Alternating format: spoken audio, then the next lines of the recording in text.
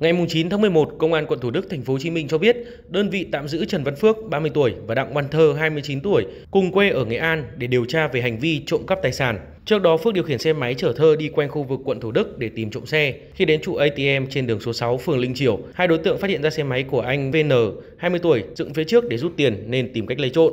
Phước dừng xe khá xa để Thơ dùng công cụ bẻ khóa xe máy.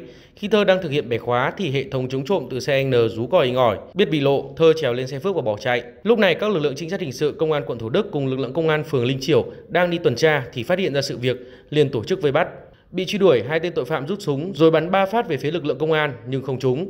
Tổ trinh sát đã nhanh chóng đuổi kịp, khống chế hai đối tượng.